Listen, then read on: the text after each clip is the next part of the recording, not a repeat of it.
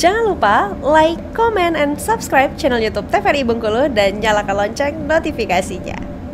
Enam pelaku penyalahgunaan narkoba dibekuk Polda Bengkulu. Keenam tersangka berhasil ditangkap di tempat dan waktu yang berbeda. Dari tangan para pelaku, polisi mengamankan sejumlah barang bukti narkoba jenis ganja dan sabu.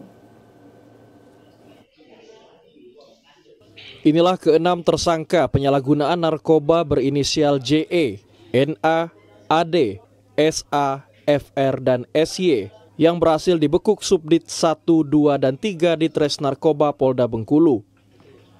Para tersangka ini berprofesi berbeda-beda, mulai dari mahasiswa, wira swasta, hingga tunakarya.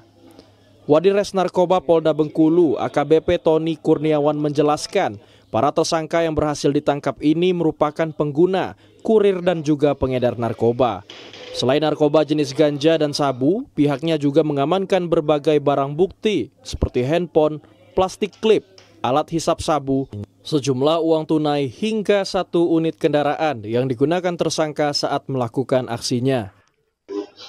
Penggeledahan anggota mengamankan barang bukti sebanyak 6 paket sabu dalam plastik bening dan satu unit merek HP atau lembar celana pendek.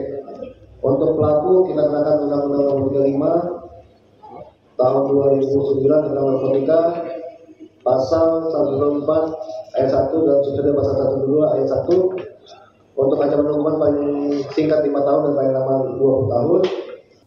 Akibat perbuatannya tersebut, para pelaku dikenakan pasal tentang narkotika dengan ancaman kurungan penjara maksimal 20 tahun dan denda paling banyak 10 miliar rupiah. Abdi Wijaya Pranata, TVRI Bengkulu melaporkan.